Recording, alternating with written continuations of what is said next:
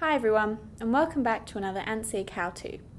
Today, we will be showing how to terminate compression Type F connector cable.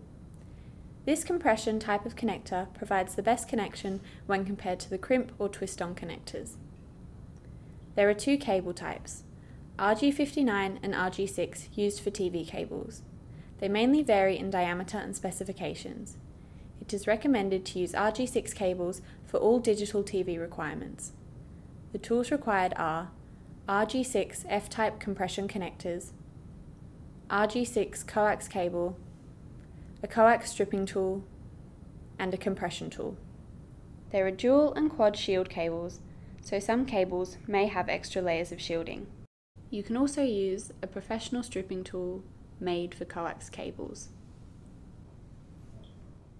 which will strip both the outer and inner PVC to the correct length. To avoid any signal interference, braid or shield should not touch the inner centre conductor. Insert and push the core conductor into the compression F connector.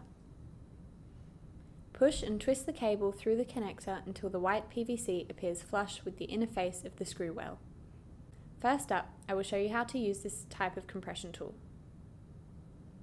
Insert the connector into the compression tool. Ensure the cable is clamped in. Now squeeze the handles until the green section is compressed.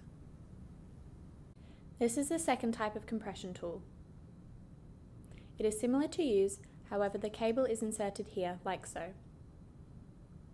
Make sure the cable is secured in place and squeeze the handle until the green section is compressed. The exposed core conductor must not protrude past the end of the F connector by 3mm. For any more questions or assistance, visit our website or refer to the contact numbers at the end of this video. Thank you for watching and we will see you next time.